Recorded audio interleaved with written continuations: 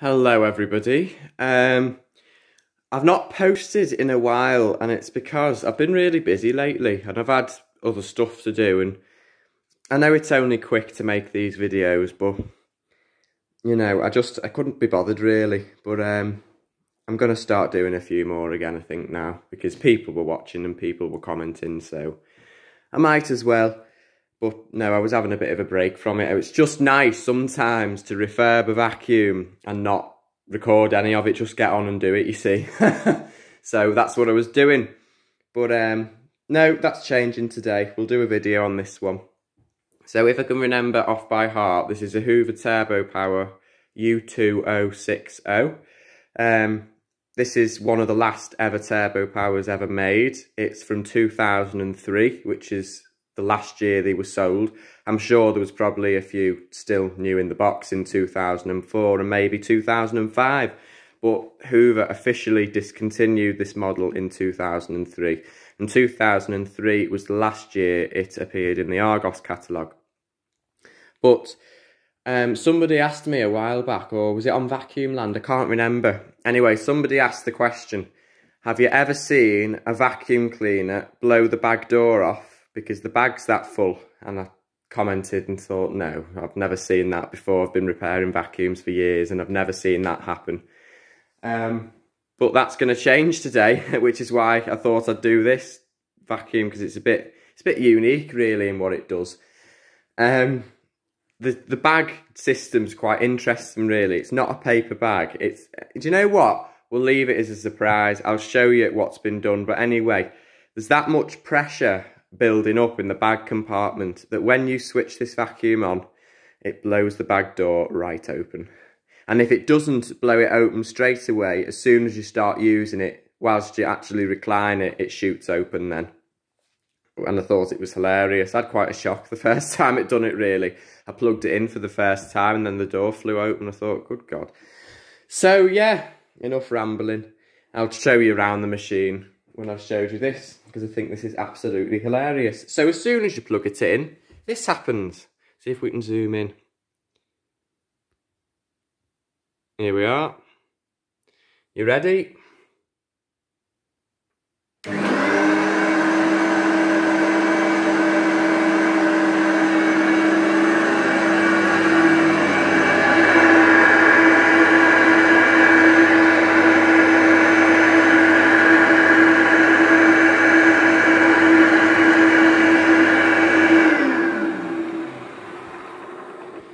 Now, do you know what that is?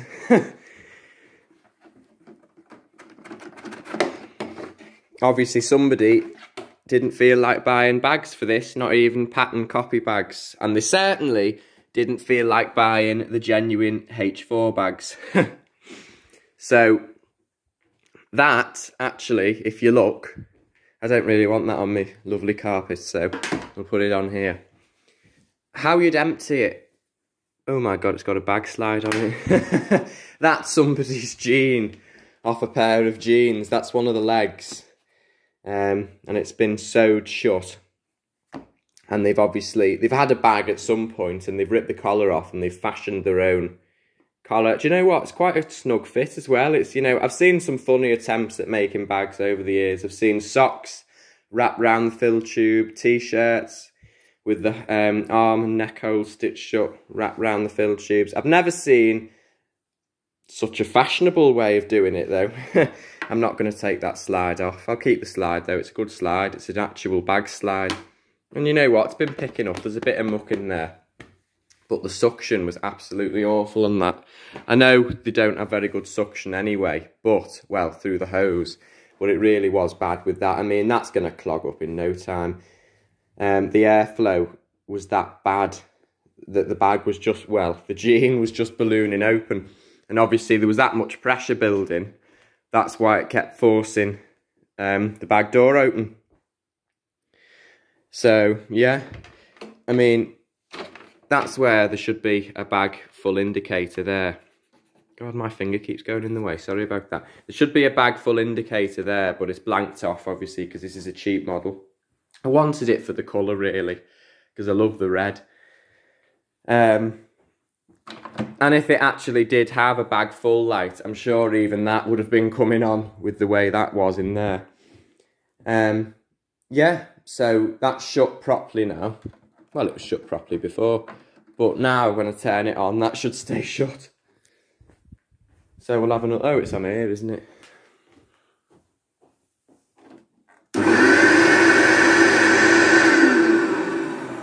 Nothing wrong there.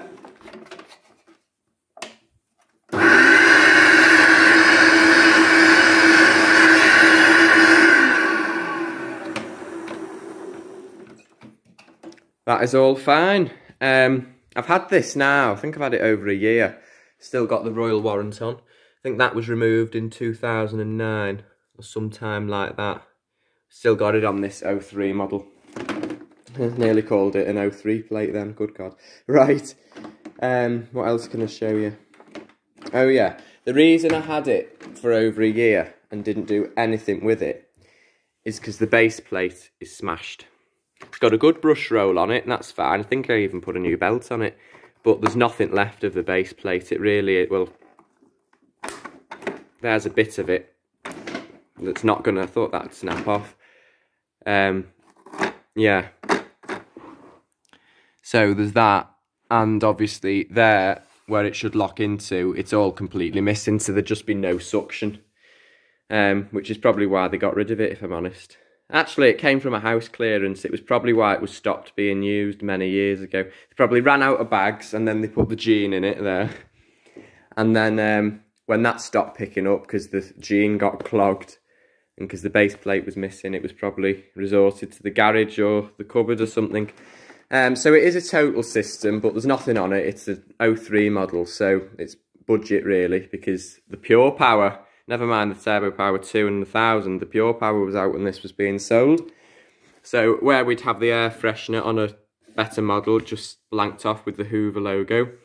Um, no bag full indicator, and the power switch is there. On all the other models, or most of them anyway, it was in the handle, but obviously it saves money having no electrics in the handle. Um, on the really early models, there'd the record rewind button there, so they've just put a switch there instead. Um, yeah, and being a total system, you move that along to use the tools. And I'll show you the tool suction. It was never good on these anyway.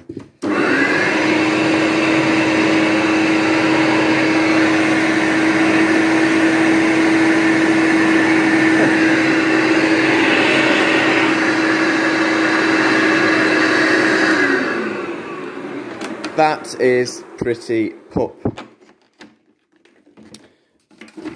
rubbish really. No suction there at all.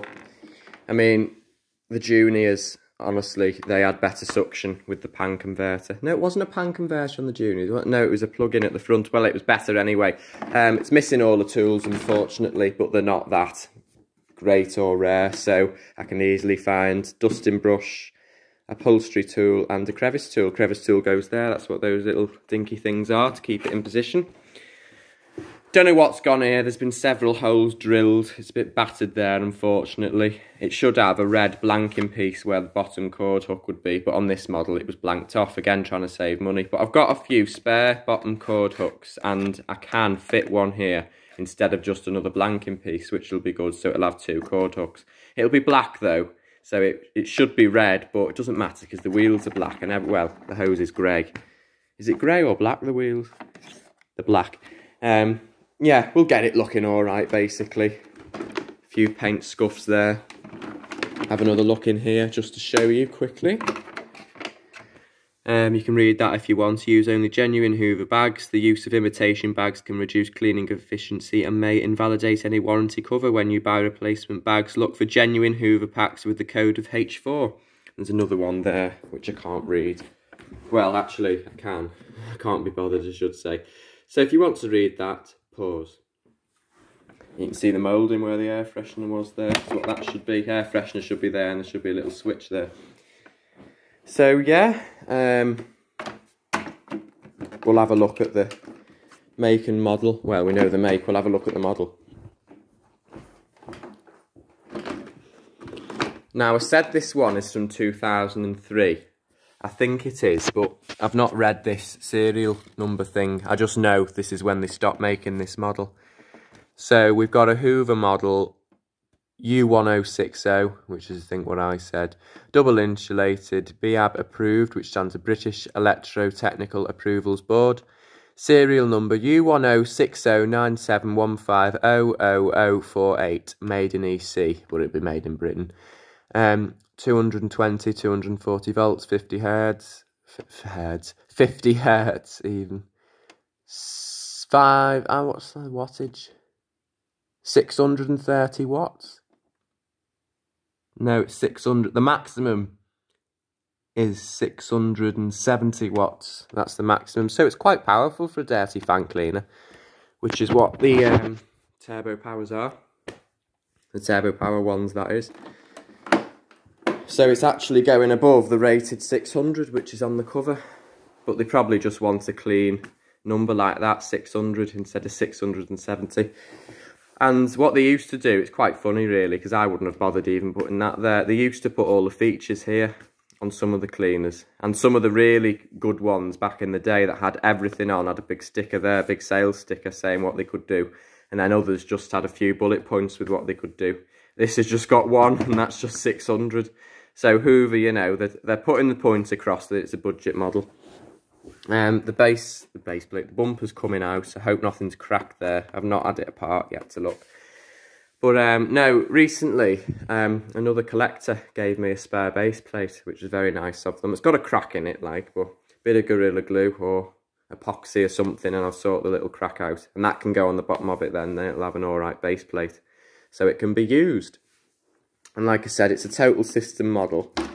I've never actually done it, but I'm sure, just really out of interest, I want to know whether the pan converters can fit on the bottom of there and you can use the old turbo power tools, but I'm sure you can. And that's it really, I've nothing else to show you. I won't bother sweeping it round the floor, partly because there's no bag in it, partly because there's no base plate, so yeah. It's starting to rain. Not very good, is it? Glad I didn't do this one outside. So yeah, there is my 2003 Hoover Turbo Power 1 one of the very last. Well, whether this one is one of the actual very last, but I know this model was stopped in 2003. Yeah, um, don't think there's anything else to show you, really. So thank you for watching this video, and I shall see you next time. Bye for now.